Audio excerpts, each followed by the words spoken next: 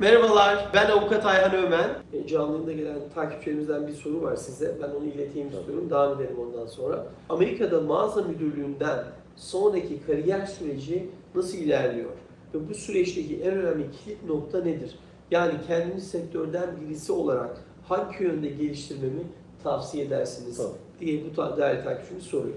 E, Eğitim çok önemli. E, Amerika'da ben mağaza müdürlüğünden sonra bölge müdürlüğü, bölge müdürlüğünden sonra corporate ofiste e, operasyon olabilir, e, merchandise olabilir, yöneticilik olabilir. E, bu tip e, yükselen kademeli kademeli e, yükselmeler gayet normal, gayet de olması gereken şeyler. Yükselmesi gerekiyor başarılı bir iş adamının.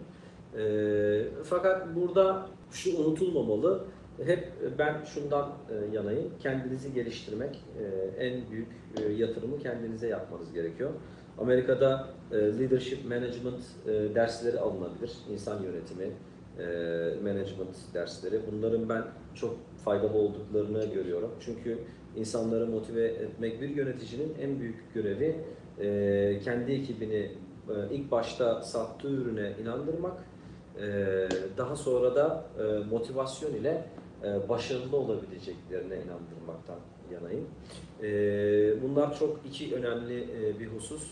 İnsanları sadece siz evrakla e, veya yapması gereken şeyleri söylemekle maalesef e, çalıştıramıyorsunuz.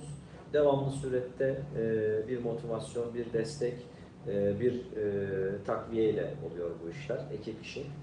E, yükselebilmek için leadership management dersleri alınabilir. E, üniversitelerden e, değişik sertifikalar alınabilir. E, bunun dışında e, Amerika çok büyük bir pazar. Hep bahsediyoruz. E, rapor, analiz, data sizin Excel'inizin, sizin bilgisayar üzerindeki e, çalışmalarınızın gerçekten çok kuvvetli olması gerekiyor. E, eğer ki mağazacılık ise, tekstil ise veya atıyorum e, e, ürün grubu gıda ise e, sizin analitik yönünüzün kuvvetli olması gerekiyor ki bir üst seviyeye çıkabilirsiniz. Ben hangi üründe bir dükkanımda bin çeşit ürün var. Hangi çeşidi daha çok satıyorum? Daha çok sattığım ürünün hemen gerisini tamamlayabiliyor muyum? Satmadığım ürün benim rafımda kaç ay duruyor?